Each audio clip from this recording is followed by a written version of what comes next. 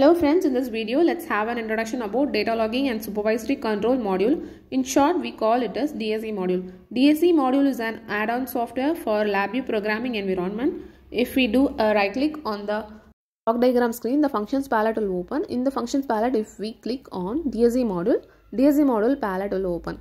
In this DSC module palette, the first option is alarm and even Using this alarm and even function, if the values are not between a certain range, alarm will be raised. The next function is historical VIs. In DSC module, we store the values in Citadel database. Historical VIs can read the data like shared variable data, alarm and even and historical values of traces which are stored in this Citadel database. And next to historical VIs, we have tag VIs. Usually tags contain values. Using tag VIs, we can read and write these tag values. And next using shared variable VIs, shared variable related functions can be performed. The next one is engine control VIs. To deploy shared variables, IO server libraries programmatically we use engine control VIs.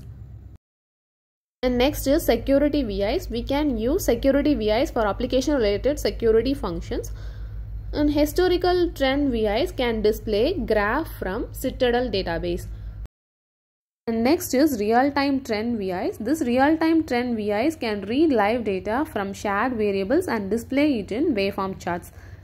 Statistical process control can perform SPC methods. We can do control charts, Pareto charts and process statistics. So these are the DSC module function related to block diagram. Next we can move on to front panel. Similarly, if we do a right click on front panel, controls palette will open. In this control palette, if we click on DSC module, we can view DSC module palette. In this DSC module, the first option is 2D control.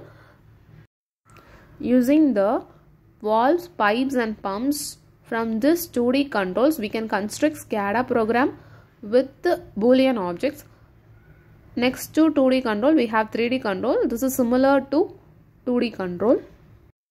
And next is vessels. Using vessels also we can construct SCADA programs with numeric objects. And next we have alarm control. Alarm control is used to display alarm on front panel. And next trend control. Trend control can display trends.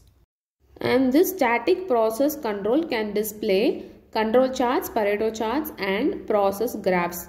So using DSC module, we can develop distributed monitoring and control system. Next on tool menu, click on DSC module and then select view historical data. And so historical data viewer window will open. Here we can view the historical data.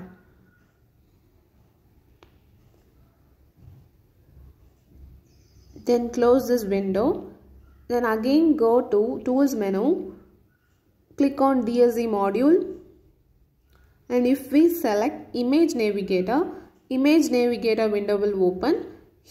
Image navigator contain default images. Using these images we can create controls and indicators. Images in the image navigator are separated into different categories. The image which we select can be viewed on the preview area with their respective names. By scrolling down, we can see many categories and each category contain multiple images. Whatever image we need, we can choose it and use. To use these images in our program, we have to select a image and drag and drop it wherever required. For example, if I need a turbine image in my program, I can select turbine image from power category and just drag and drop it. So this is how we have to use images from image navigator. So in this video, we have just seen the introduction of DSC module. In our next video, we can see the next topic. Thanks for watching. Subscribe and support. Thank you.